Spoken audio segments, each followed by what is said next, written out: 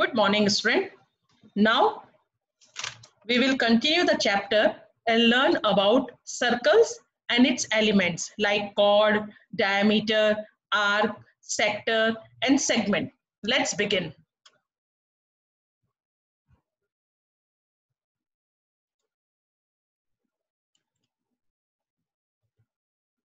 First, circles.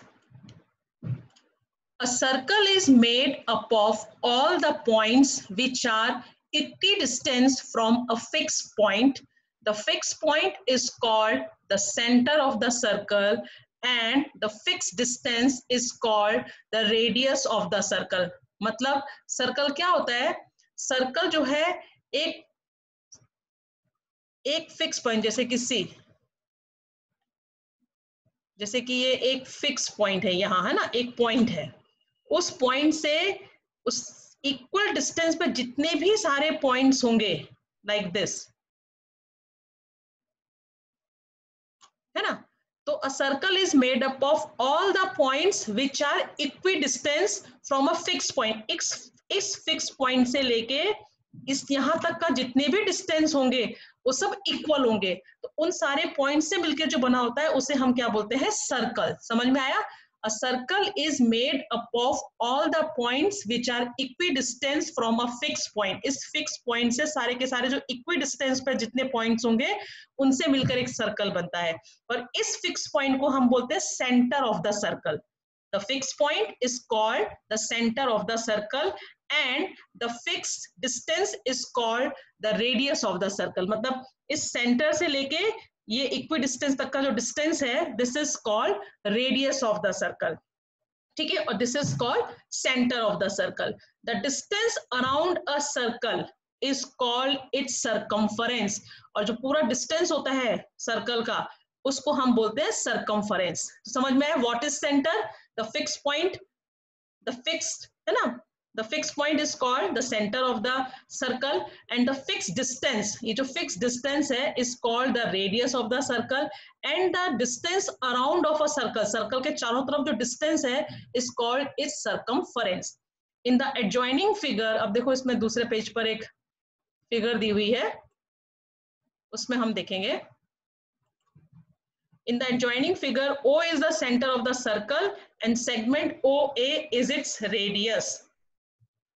सी, ये दिया हुआ है ना सर्कल तो सर्कल ये हो गया सेंटर ऑफ़ द सर्कल और इस फिक्स पॉइंट से इक्वी डिस्टेंस जो है this is called radius of the circle और ये जो पूरा इसका डिस्टेंस है around a circle is called its circumference उसे क्या बोलते हैं? सर्कम्फरेंस समझ में आया? अब आता है chord what is chord a segment a line segment हाँ?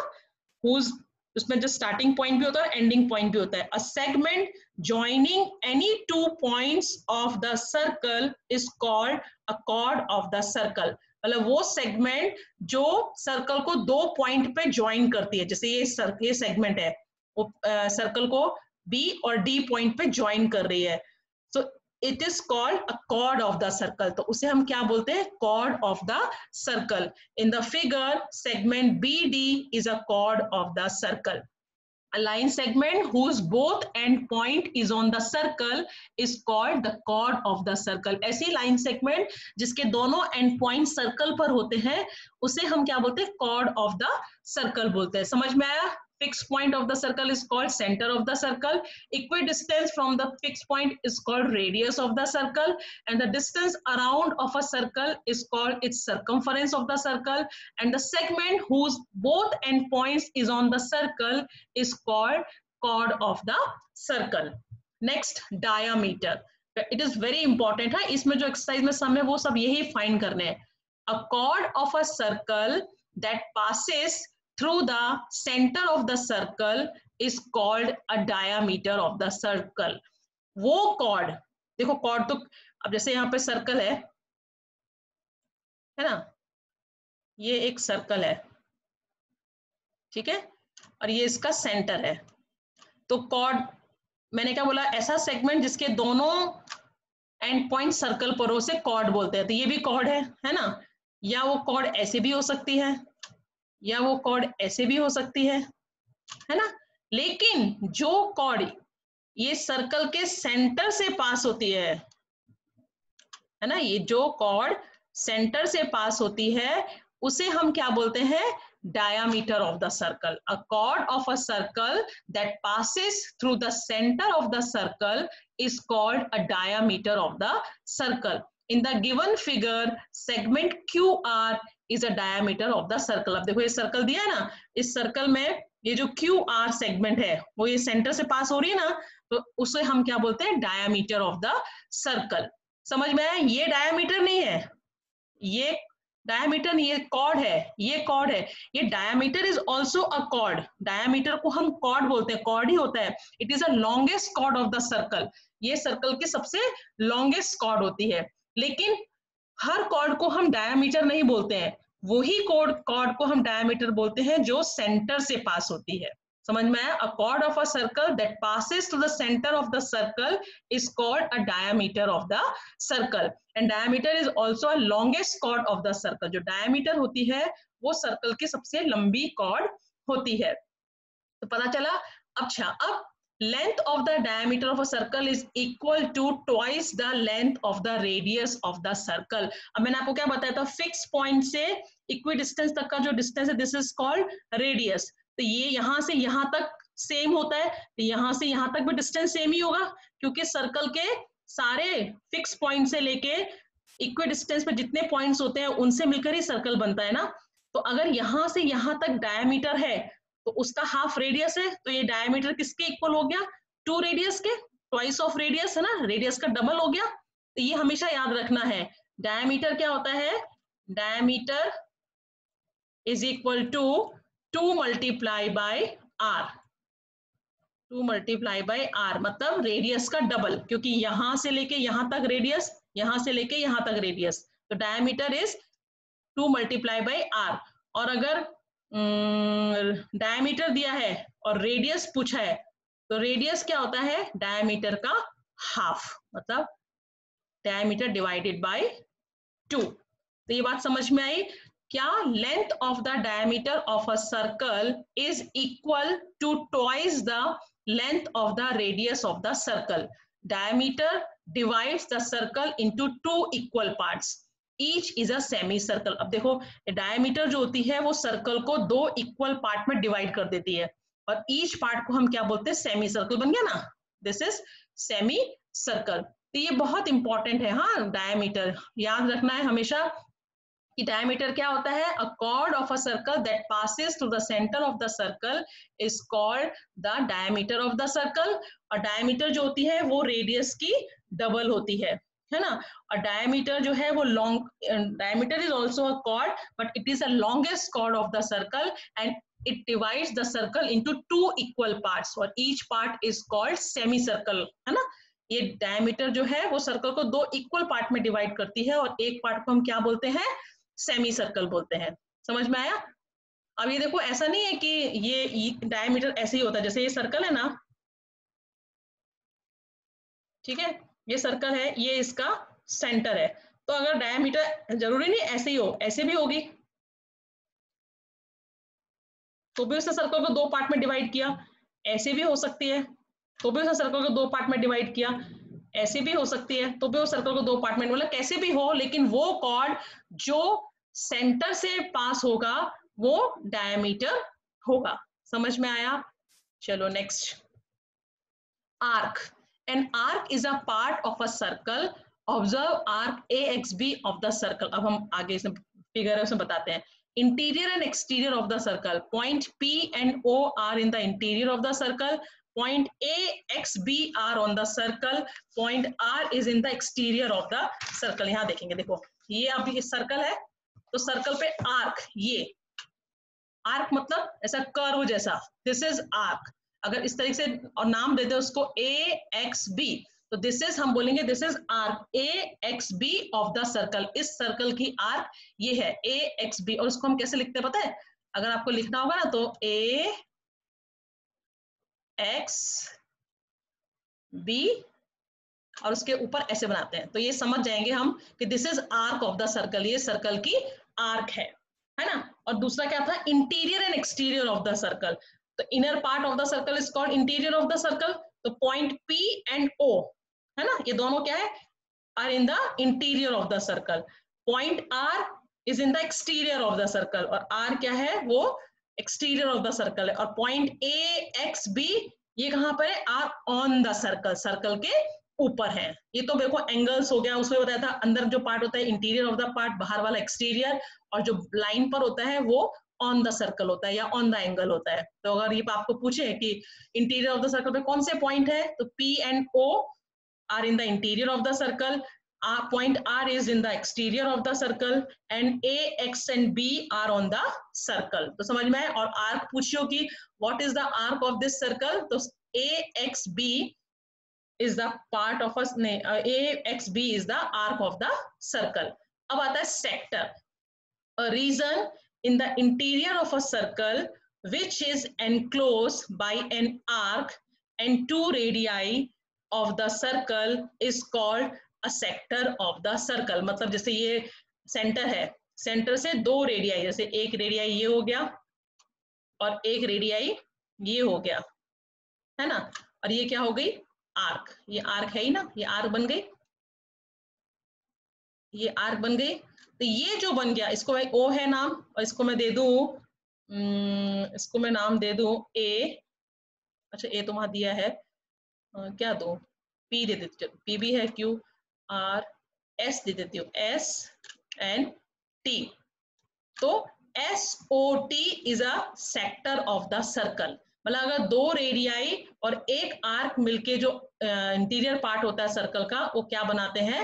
सेक्टर इसको हम ऐसे शेड करते हैं कि this is the sector of the circle what is sector a region in the interior of the circle circle के अंदर का वो रीजन जो एनक्लोज होता है, जो मतलब जो कवर हो जाता है, दो रेडियाई और एक आर्क से this is called a sector of the circle तो समझ में आया व्हाट इज़ सेक्टर चलो आगे बढ़ेंगे। समझ में आ रहा है ना? इजी है एकदम ये। आपका जो मैथ्स है, इस बार सिक्स स्टैंडर्ड में बेटा, वो बहुत ईजी है। देखो, ये ये ये हो गया सेंटर ये हो गई दो रेडियाई और ये हो गई आर्क तो ये मिलके क्या बनाया? सेक्टर अब सेगमेंट क्या होता है?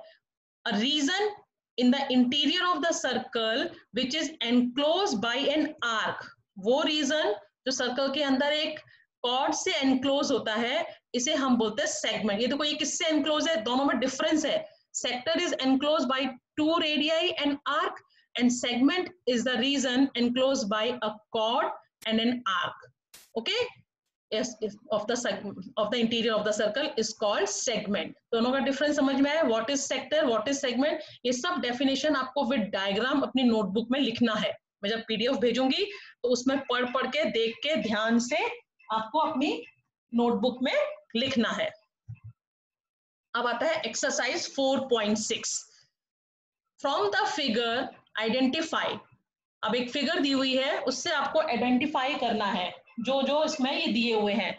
The centre of the circle तो आपको पता होना चाहिए this is centre of the circle three radii तीन रेडियाई तो सेंटर से लेके इक्वल डिस्टेंस पर सर्कल मतलब वो कॉर्ड जो सेंटर से सर्कल तक मिलती है, उस डिस्टेंस को हम क्या बोलते हैं? रेडियाई तो एक हो गया ओ ए एक हो गया ओ sorry O C O A और ओ बी है ना अ डायमीटर तो डायमीटर क्या होती है? Longest chord which is passes through the centre of the circle तो A C is chord. Diameter, sorry. AC is a diameter. A chord. so ED is a chord. Two points in the interior. अंदर में दो point तो एक P हो गया और एक O हो गया. A point in the exterior Q is in the exterior a sector sector मैंने क्या बोला था? दो रेडियाई और एक आर्क से मिलके जो रीजन बनता है. तो this is sector A O B a segment वो रीजन जो एक कॉर्ड से होता है तो ईडी देखो इसके आंसर देखेंगे सी फ़र्स्ट क्वेश्चन क्या था? The centre of the circle तो आपको इस तरीके से लिखना है फिगर ड्रॉ करना है।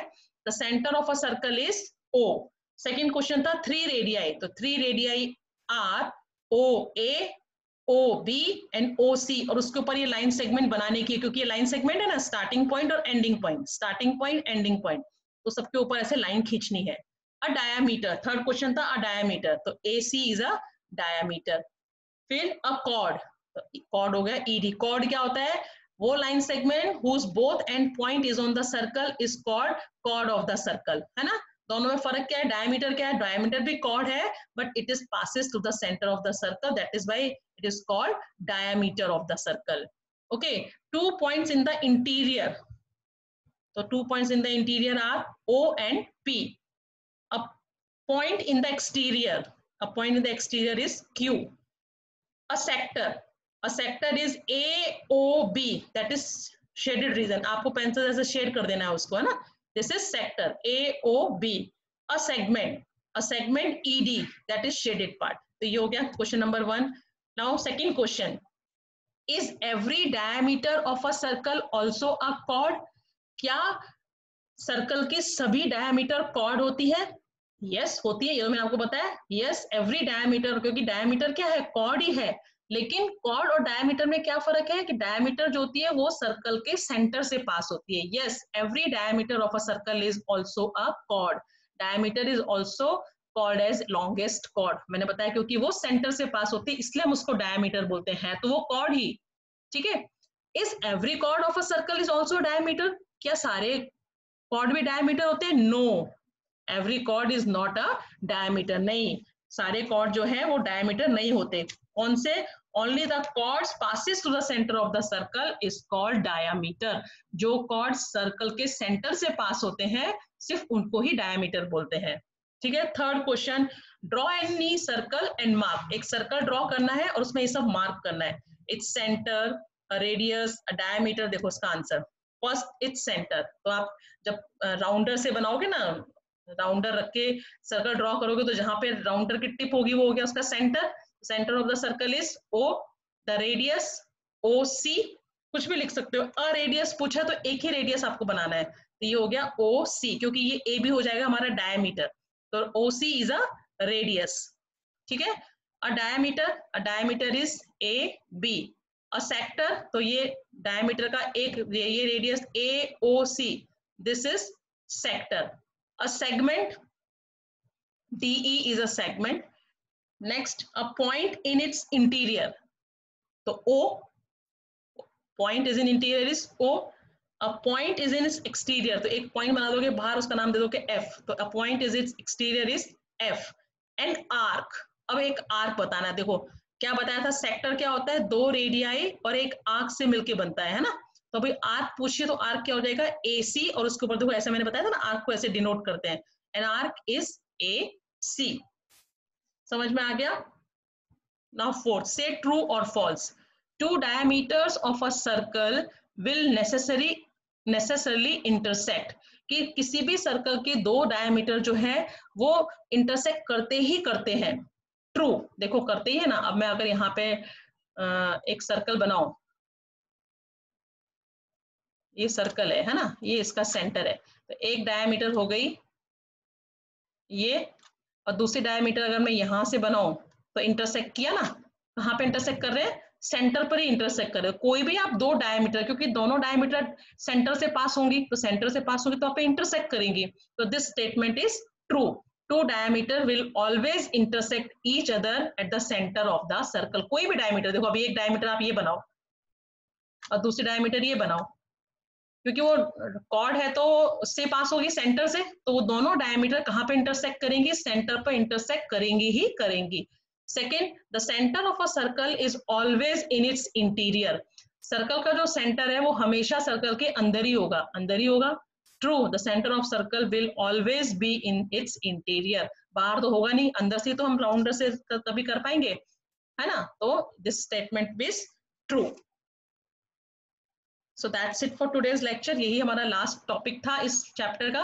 ये टॉपिक मैंने एक्सप्लेन किया। बहुत इजी है अच्छा है है ना? सिंपल था। ओके? सो so, अब हमारा ये चैप्टर फिनिश होता है। छोटा सा ये चैप्टर था।